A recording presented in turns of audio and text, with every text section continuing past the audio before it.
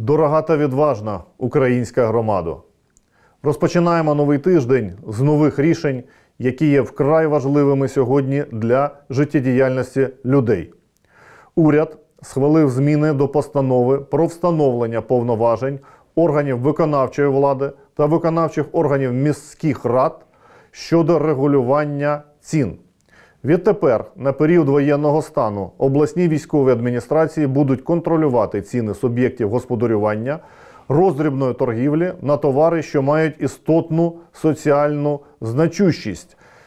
Це означає, що ціни не мають зростати. Допомагатимуть їм в цьому Національна поліція, Держпродспоживслужба та Держлікслужба. Про що йдеться?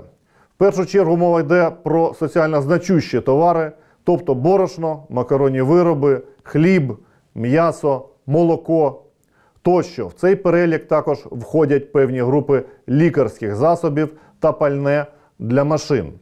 Контроль військовими адміністраціями за ціноутворенням на перелічені продукти запобігатиме виникненню недобросовісної конкуренції та підвищенню цін.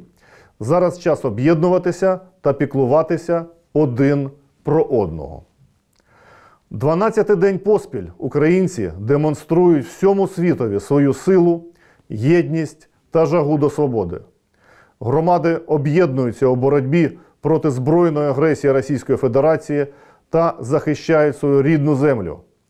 Дякую кожному. Ви і є Україна, вільна та незламна.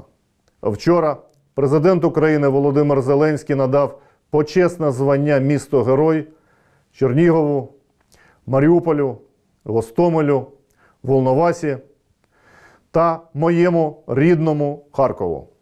Пишаємося вами. Слава Україні! Боремося далі за мир та незалежність України.